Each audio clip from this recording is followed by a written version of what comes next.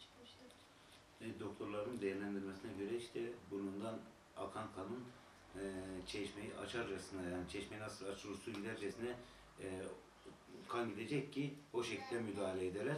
Ama bizim e, tedavi gördüğümüz süreç içerisinde burnundaki kan hiçbir zaman için sızıntı halinde gelmedi. Damla damla. Abiler şey yapıyor.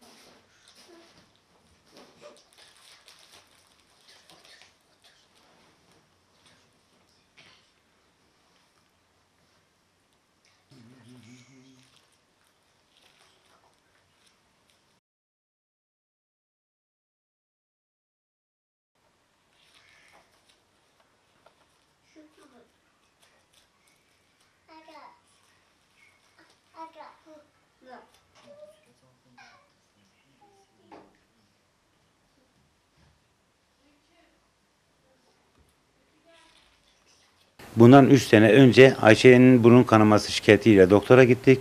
Ee, burnunda toplu iğne ucu kadar delik olduğunu söylediler. Ee, ve bu delik 3 sene zarfında e, büyüdü 4,5 santime kadar geldi.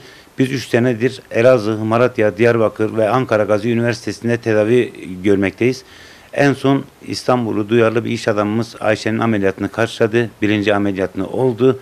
Şimdi Ayşe'nin ikinci ameliyatını olması lazım. Ayşe'nin ikinci ameliyatının olması için de şu an e, Ayşe'nin dünyada 13 kişide Türkiye'de 2 kişide bulunan bir hastalık e, IgG4 hastalığı diye geçiyor.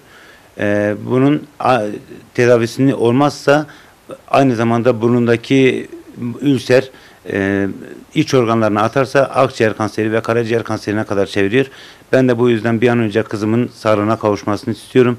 E, gereken yerlerden, gereken kişilerden ve e, yardımseverlerden bu konuda yardım desteği bekliyorum. Evet, e, e, şu anda Türkiye'de, e, dünyada 13 kişide, Türkiye'de 2 kişide bulunan hastalık benim kızımın arkadaşı rahmetli oldu. Şu an kızım da tedavi görüyor. Ben de Bundan 3 sene önce doktora burun kanamasına gittik. Burnuma delik olduğunu söyledi. Burnumdaki delik gitgide büyümeye başladı. Birinci ameliyatım oldum. %50 oranla tutmadı. İkinci ameliyat olmak zorundayım şu anda. Ve onun içinde bayağı da miktarda bir para gidiyor. Ben artık geceleri rahat uyumak istiyorum. Uykudan nefesim kesilerek uyanıyorum. Bir anda nefesim gidiyor uykudan. Ağzım dilim kuruyarak uyanıyorum. Ve bir an önce ameliyatım olup kurtulmak istiyorum. E, doktorların değerlendirmesine göre işte burnundan akan kanın e, çeşmeyi açarcasına yani çeşmeyi nasıl açılır su gidercesine e, kan gidecek ki o şekilde müdahale ederler.